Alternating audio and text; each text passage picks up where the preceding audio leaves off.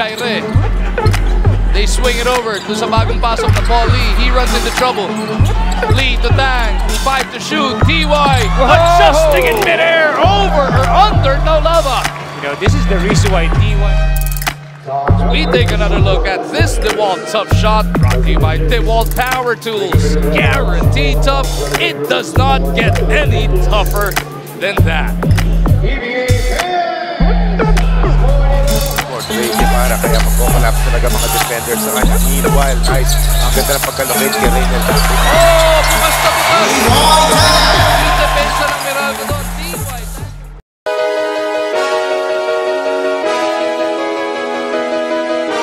TY.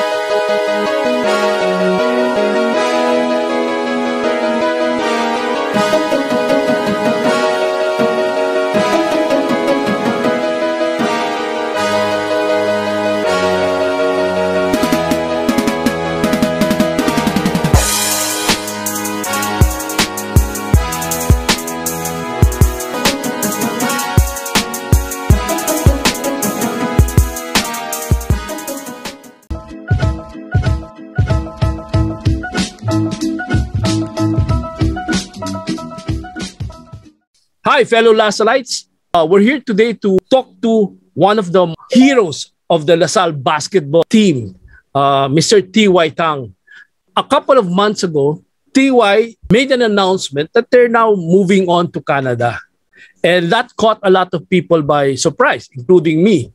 Because a week before he left, I was still communicating with him, trying to sell something to him. So, ladies and gentlemen, fellow Lasalites, fellow Lasalians, let's all welcome Mr. T.Y. Tang. Good day, Mr. Uh, how do I call you? Coach? T.Y.? Just call me TY. Uh, for old time's sake, it's been Yes. TY all the time naman, di ba, Sir Albert? So, yeah, just call me that.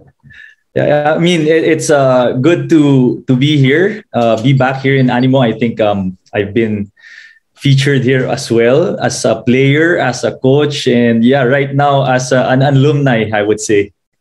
So, thank you for having me. Thank you, thank you, T.Y., for allowing us to do this. But let me start with this question. Uh, this has been bothering me for quite a while. And uh, one of the stories that I heard was that from Xavier, you were a walk-in sa tryout ni Coach Pumaren. Is that true?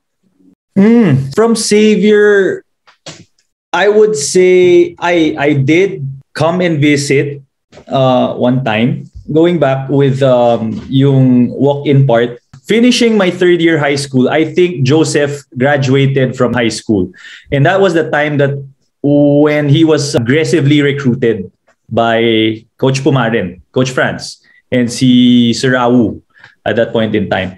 And they were inviting me and Chris as well. Oh, Chris Tiu. Okay.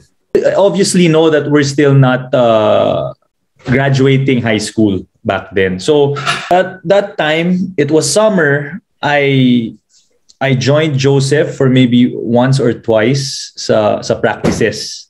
And then after that, I went on to my fourth year, played all the leagues. And then from then on, uh, Coach Franz, uh, andyan na si Sir Awu. Si Sir Awu yung normally na umiikot for the recruits eh. And so, I was constantly in touch with uh, Sir Awu and he was uh, very much um, welcoming me into the LaSalle. So I'm not really sure if you consider that a walk-in or, uh, or a recruit, but yeah, there was a constant communication between um, sila Coach Franz, Sir Awu, and all the other um, people from LaSalle community. Kasi the story that I got, which I've been wanting to confirm, was that uh, you walked into the practice and then you started making three-point shots, 20 consecutive three-point shots. So that made you a shoe-in into the team. Ewan ko kung urban legend yun o totoo talaga yun. Mukhang urban legend yun. I, I've uh, constantly um, messaged me and invited me to join the practices at that time. You know, any point that you are free, you come by practice. Um, we'll make you join practice. Coach Franz is very much um, welcoming you and very much interested. Yan ang mga sinasabi sa akin ni Coach Awu at that time. So whenever I'm free naman, especially during my last year na rin, I try to come by sa practice and um, see for myself how it's like, ano yung feel dito, what's the atmosphere, the environment in that way. I I saw your picture when you were still a rookie. Yes. Pare, totoy na totoy ka talaga. Kamukha mo yung anak mo. At that time, it was 120 pounds. That was uh, first year ko, di ba? So, uh, right after graduating high school, I was about 5'7". And my weight was different back then. Talagang, uh, I, I would say I was lean, pero sobrang payat. Didn't really have much have heft in my body. No, but it was your haircut that was, uh, uh, di ba naka-cut ka sa gitna? But Yes. yes. Who among your teammates have you been seeing before you left for Canada? Sino yung regularly nakikita mo? I'm in constant communication with my uh, batchmates during my latter years. Sila Coach Cholo, sila Rico, PJ Walsham, JV, si Ryan, yan. Um, constant communication sa sa phone or social media. But during COVID, hindi na rin kami masyado nagkita. It's uh, we're all v- being very conservative and being on the safe side because everybody has families na rin eh. Hmm. We don't want to spread the virus out. Correct. So, we kept in touch naman. Of course, you delivered championships for LaSalle, di ba? Uh, there was a time that uh, during the break between UAAP season, you won all the championships that was uh, on hand, di ba? From Father Martin and all the tournaments. And uh, finally, you go, you won the UAAP championship with the LaSalle team. How was life as a rookie for you, T.Y.? Whew, uh, those are uh, unforgettable times for me, but not good times. Uh, My, my rookie year, as everybody knows, it was really a, a, a tough time for me adjusting from high school, coming from an exclusive boys school to, to a co-ed school in a bigger school in that sense. And then, syempre, we came from Xavier. We are very fortunate enough and blessed enough to to have parents who can afford, diba? Um, moving into a, a school wherein everybody's equal na medyo nagkaroon ako ng hard time adjusting, um, finding myself for time for food uh, doon sa wherever in the streets and my time with gelling and mixing with co-ed with the girls. Kasi nga coming from an oil boys school not, not really used to mingling with the girls. So Naks, ha?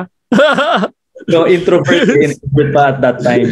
So uh, nan- nandun yung mga concerns ko na it was pretty hard to adjust uh, especially with basketball as well because in Xavier it was always uh, academic first and basketball second. But moving on to the bigger leagues which is uh, the college the collegiate leagues it's very high level of competition. I can't personally say that it's been academics first before basketball. It has to be two at the same time. Meaning as a student athlete i had to prioritize both academics and my commitment to, to the green archers. And that made it all tougher because practices with coach franz was more than double the effort coming from high school.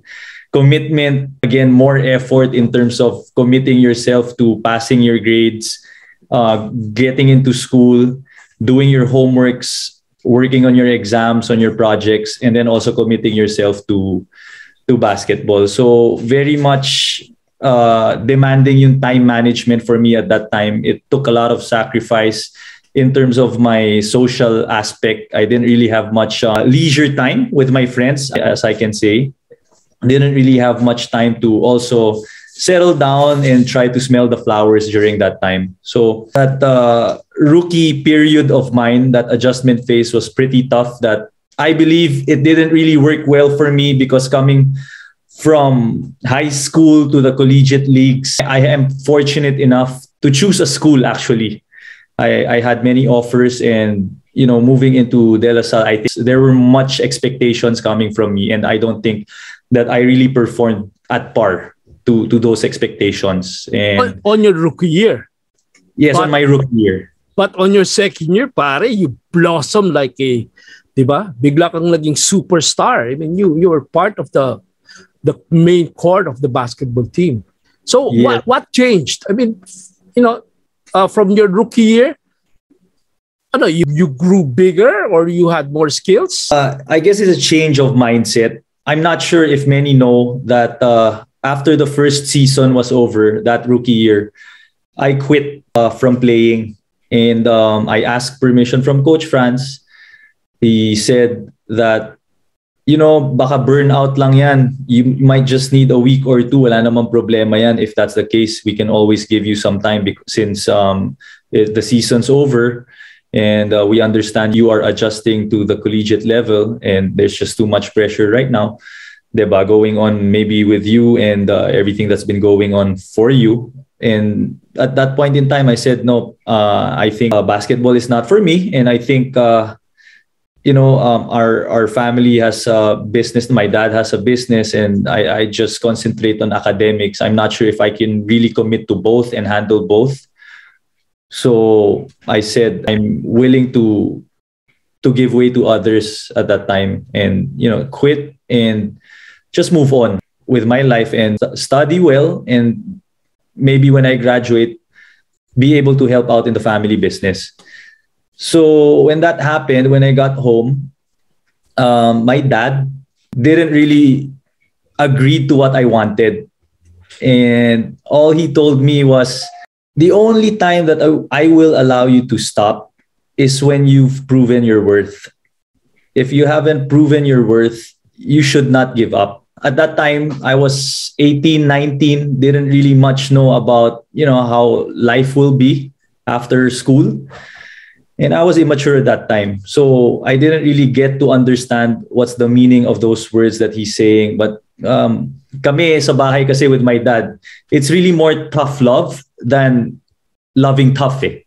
Yep. There's a a big difference with that when a lot more explaining if you want a love tough kind of relationship and a tough love kind of relationship. With us, lesser words, more actions. It was harder for me to understand back then. But eventually, he was able to convince me, or maybe I can say, forced his way for me to follow him back to to to the sport. So after three four months, I asked uh, permission again from Coach Franz. You know, if I can again try out, maybe he was right that it was only uh, a burned out or I needed a little bit more rest and slow down my emotions probably to be able to at least figure myself where I am and how I want to move forward. And then from then on, my mindset uh, was different already. I want to go in with a clean slate, but this time around, there's a goal that I, I want to pursue with. There's a goal and a direction that I want to take. So I fully committed myself to two things my school and academics. That's it. I basically took away everything outside that until the time that I was able to adjust. For, for a time, it was really only going to classes and going to the gym. So it was before, after. I know what I have to work on with my build and my physique. There's no way that I'll be able to compete. So I tried to gain more weight. Uh, ask Coach Dan, uh, constantly coordinating with Coach Dan. Si, Dan, uh, Dan Rose. Yes our strength and conditioning at that time for for ways that how i can improve my body and how i can perform better. And then i i also asked consultations from all the coaches sila coach jack santiago at that time on how to help me um, for sure. They they have all the experience uh, gained from from the pros and collegiate level diba so who else i can ask uh, for a better consultation than them so yun. And then it, was all work, work, work, work, work. More reps, reps, reps, reps, reps until such time that I gradually grew from my rookie year every year, sophomore year, first year to second year. I, I think I gained about 10 pounds. And then from second to third year, another 10 pounds. Third year to fourth year, another 10 pounds. And during my last year before I graduated, I more or less I was already 160 pounds with only about four or five percent of body fat at that time. Wow. So But looking back at what your dad said, alam mo, uh, I- I'm sure you will agree with me that made a lot of sense, di ba? As a father, I would also tell that to my son, uh, advise that to my son. You know, don't quit. Quit only when you've proven something. Otherwise, you'll regret it for the rest of your life.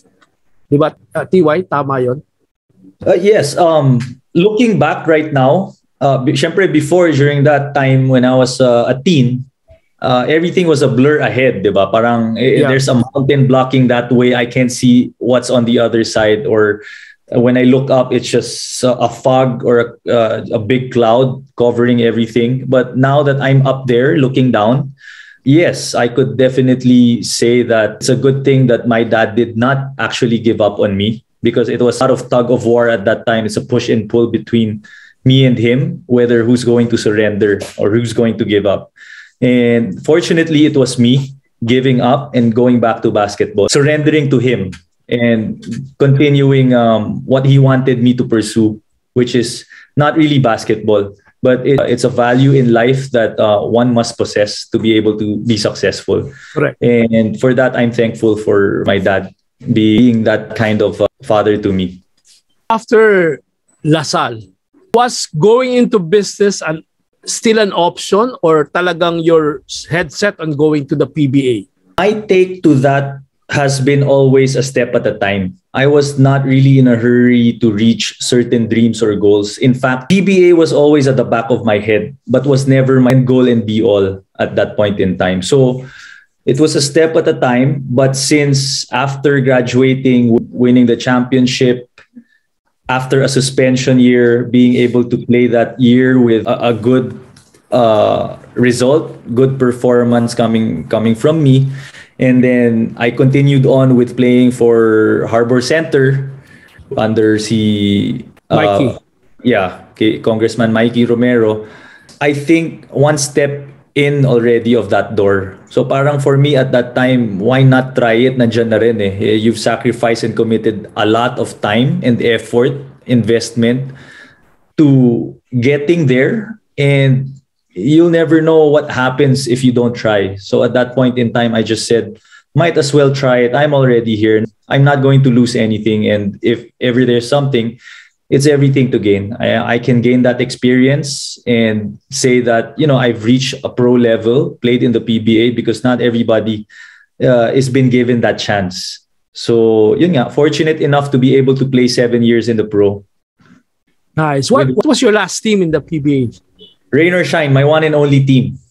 Ah, nga pala, no? Uh, yes. Do you know that Yeng Guiao is my high school batch mate? Oh, okay. Si Coach Oh. Sheng. Oh, I think you mentioned that to me already one Ah, okay. of uh, those times before. so now let's go back to your trip to Canada. When did you decide to go to Canada? I mean, was that because of COVID or were you thinking about it way before COVID? Before, because I didn't think of any movement outside the country because I felt I was established naman uh, in the Philippines, you know, having a family business, having my own business, having my own basketball school at the same time, being a coach out there. There's just too many things that I juggle all together. But, you know, when COVID happened, most of the things are can be done remotely. Diba? Even my basketball school right now, I'm doing it online. So usually I do it at night over here, mid hours in the morning, but afternoon over there. And sabi ko, if there's a time for for me to work on a second base for the future of the kids, knowing our situation over there, sabi ko, this may be a good time to do that because when things come back to normal, it's another story, diba? Um, I won't even think of doing this anymore. But yeah, shift of mindset only happened during COVID when I felt that our situation over there, especially for the kids, I'm very much uh, an advocate of movement. I want them to keep moving, staying active, uh, being into sports. But because of um, our situation during the pandemic, there's really nothing going on for them except iPads, gadgets, and everything is about 10 hours a day sitting down either on YouTube or a monitor screen. So parang sabi ko, ang hirap. Uh, it's something that I cannot also blame them with because they they don't have anything to do aside from that, 'di ba? It, it's also fortunate enough for us na rin, uh, me and Gaiza, having two kids, kahit pa paano they have uh, some sort of interaction within themselves. Your relationship with kids, 'di ba? they, they still can speak and uh, have a relationship between brother to brother in a way. Iba kasi when it's us talking to them eh. It's always about lessons and values and morals. Yeah. So sabi ko, swerte na rin that we had that. But at the same time, it's so much a pity that uh, I see that every day. So yun, that's what made me actually decide to set up a second base out here. So if ever something happens in the future, at any point in time they choose to study here eventually, uh, feel free. Uh, it's their option, it's their life. I'm I'm here to support them through it. How old are your kids? They're 10 and 7. Your 10 year old, his, uh, what's his name? Tyrese Gabriel, Tyrese. The seven year old, Tyrus Gavin. Gavin. So, how do you call them? They're both Tyrese. Yeah, so one is Ty, the other one we call him Shoti. So Ah, in Shorty. Chinese, there's Aya and Shoti, right? Yeah, that's right. Oh. Okay. How did Gaiza take your decision your, or your proposal to go to Canada? At first, she was a bit iffy because she's not really much uh, into changes uh, and knowing that we're gonna move into unfamiliar territory.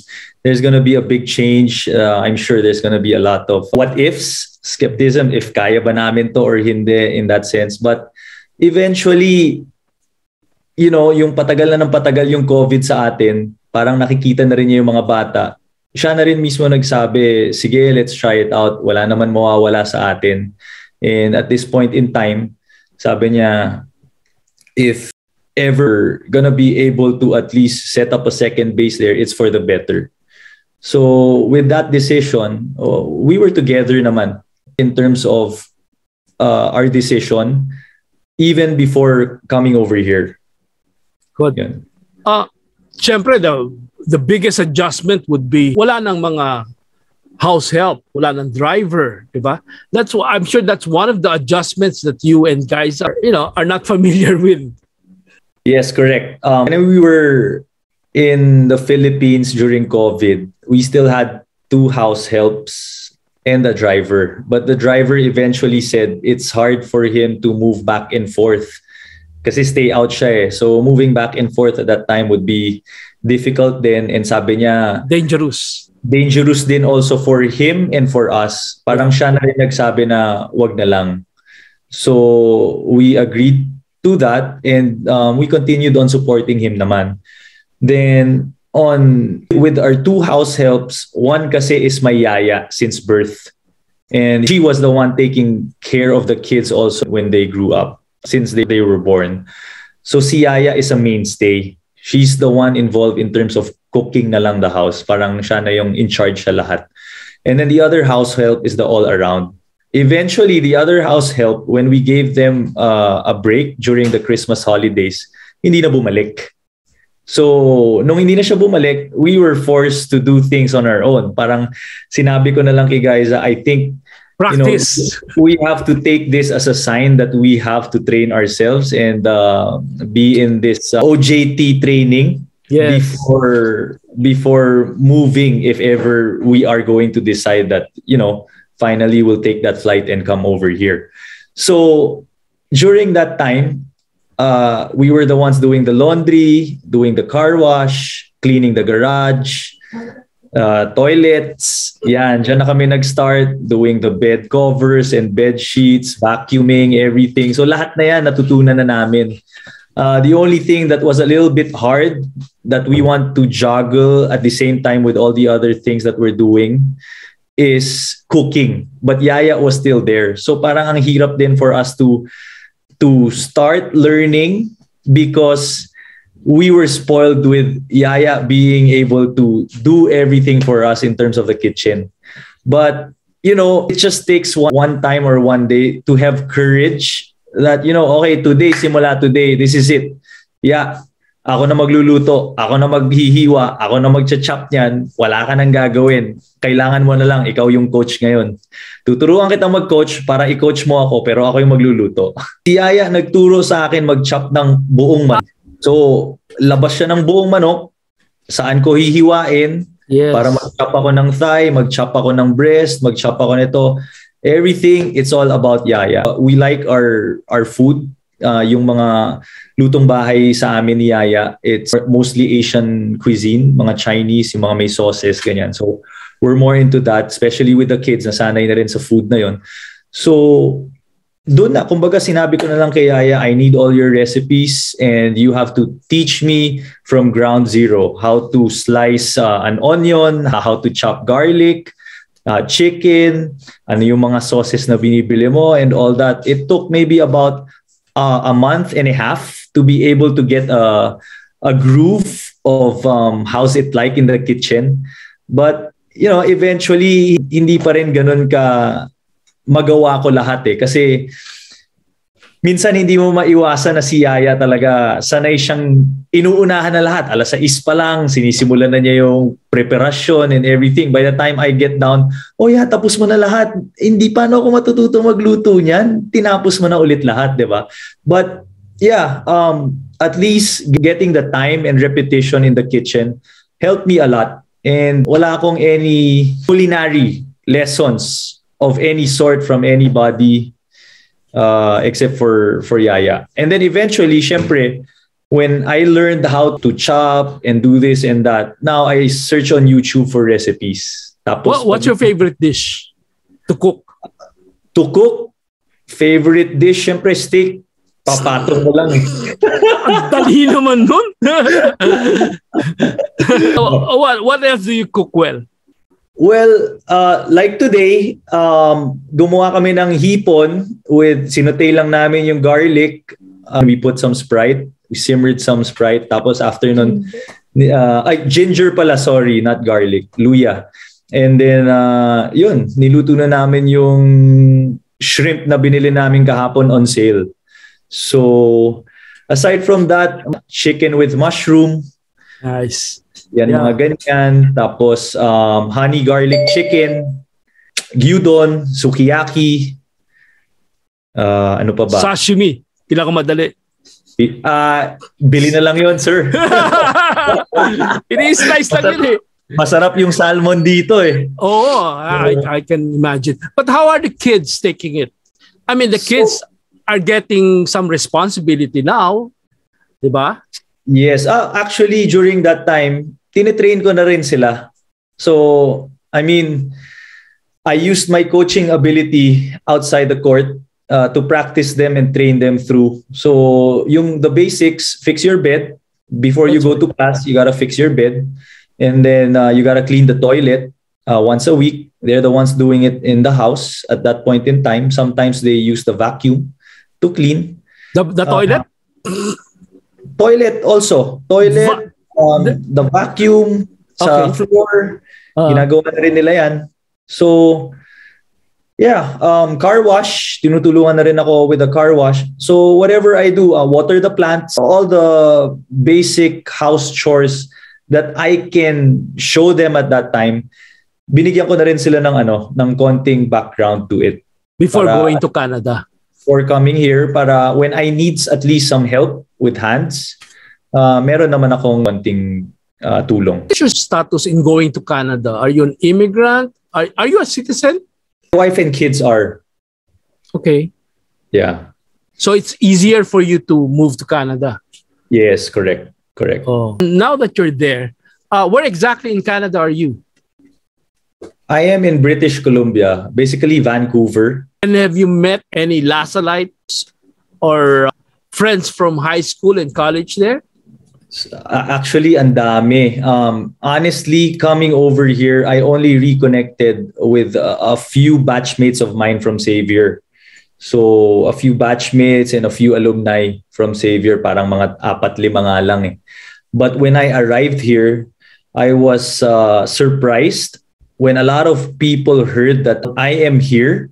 A lot of them actually welcomed me, reached out to me through social media or through whoever that they know are connected to me. They reached out and even during quarantine, hindi kami naubusan ng pagkain. Nandito kami nakalock sa sa apartment but yes, uh, a lot of people have been really giving us food. So thankfully we are blessed to to be welcomed in a new country with by people we don't even know. Some others we don't even know. So, sobrang masaya na we were welcomed over here. Nice. Any basketball teammate in uh, is in Canada now? Parang wala dito sa side ng Vancouver. Vancouver. Now, um, sino yung mga teammates mo sa La Salle that are still in the PBA now? There's JV. There's I think I I believe it's JV only Casio. JV. Yeah, it's only JV left. Na ako maalala na nandiyan pa kasi karamihan ng kasama ko were higher age group eh. So, what about the kids? Uh, they are school age na. They're, they're going to class next term? They're actually doing Xavier online. So Ah, okay. we're still um, doing their classes are still Manila time. Hmm. Uh, they study in the afternoon uh, until nighttime. Okay, I'd, like to say good luck there in Canada. Aside from doing your basketball things remotely, what else are you doing in Canada? Are you planning to start a business in Canada? Well, um, whatever opportunity there is to pursue, I, I honestly don't know right now what there is. I'm just open to, you know, looking for something to pursue out here, whether it's a business, whether it's uh, finding any job that I, I feel I'm passionate about or something that I'm interested in. As long as I, I, I believe it's something that can sustain us out here uh, for the meantime. So we'll see. Right now, I'm just um, focused on settling down uh, our family, doing all the necessity and priorities muna. So siguro eventually na yan, looking for work uh, right now is still for me not a uh, priority. What's important is uh, we take it slow, be patient, take it a step at a time. And we're just trying to embrace our journey here. Uh, mahirap kasi to really fix our, our mindset to one thing. I, I, I don't like that. I just want that, you know, our, our mindset is to to just embrace uh, where we are today, the moment um, of sige tara um, from from being locked down for a long time, let's uh, move in somewhere wherein um, we can have so much space again, feel like what it's like um, moving around and being able to move freely.